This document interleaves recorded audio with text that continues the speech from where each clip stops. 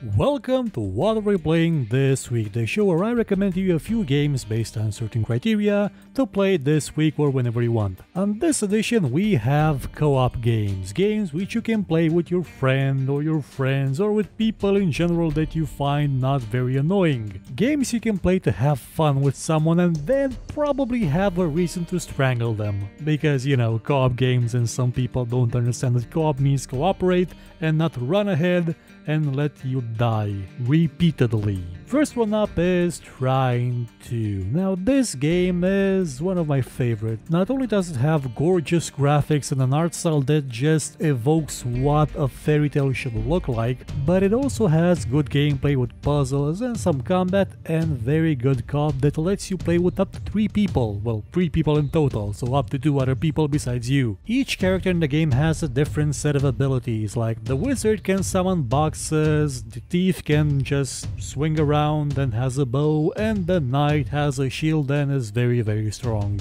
That may seem simplistic but trust me it's a very nice game to play and it's available on Steam now because of the summer sale for just 2 euros and 55 euro cents. Up next is Keep Talking and Nobody Explodes, the kind of game that you may end up strangling someone because of.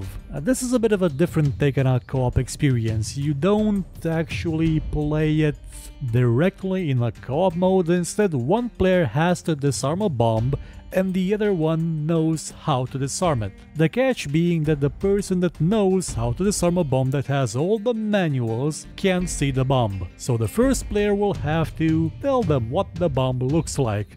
And trust me, it's a doozy. The bomb is freaking complex. It has wires, it has pins, it has all sorts of stuff. It's uh, it's gonna take a lot of communication, a lot of communication, which is quite a good approach to do a co-op game and not just, hey, shoot that thing, give me some ammo, cover me, you know, what co-op mostly means in games. You can find it on Steam for 9 euros and 90 euro cents because of the Steam summer sale, otherwise it'll be 15 euros, which may be a bit much but it does have VR support, which is nice. It makes you feel even more immersed when you try to figure out what the bomb is. And lastly, this is the game I actually picked up for myself from the Steam sale, it's Dead Rising 2 Off the Record. Yes, the best Dead Rising game that's available for PC. A lot better than Dead Rising 2. Why you may wonder, well 1, because the main character doesn't look like he was hit in the face with a shovel, 2, the story is better, 3, Frank West,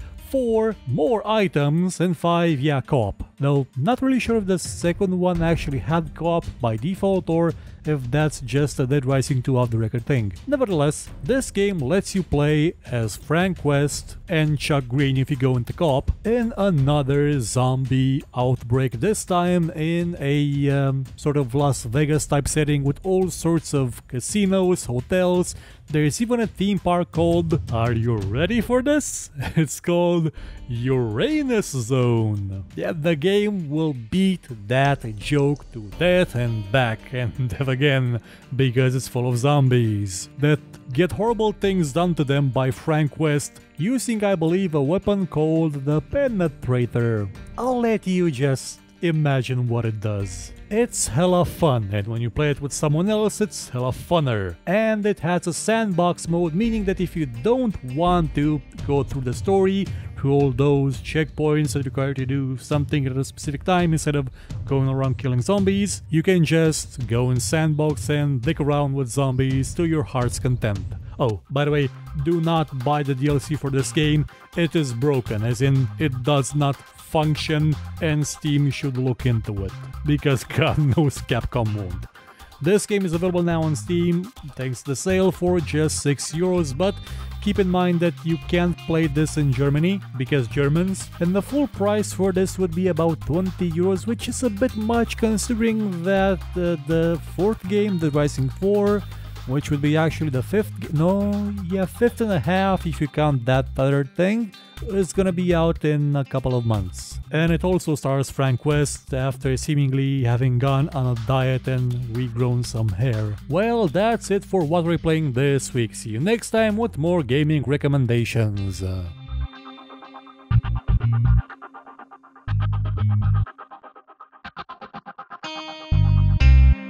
If you enjoyed this show, hit the like button, subscribe, and share it with your friends. Or, if you thought it was horrible, then share it with your enemies and make them suffer. We shall be your weapon of vengeance. But if you liked what you saw, you could, I don't know, maybe donate because basically YouTube is horrible at revenue by using the link in the description or just buy my book. It's a fantasy book about, well, a lot of stuff. I guarantee it won't suck, and if it does suck, you can find me here and complain about it.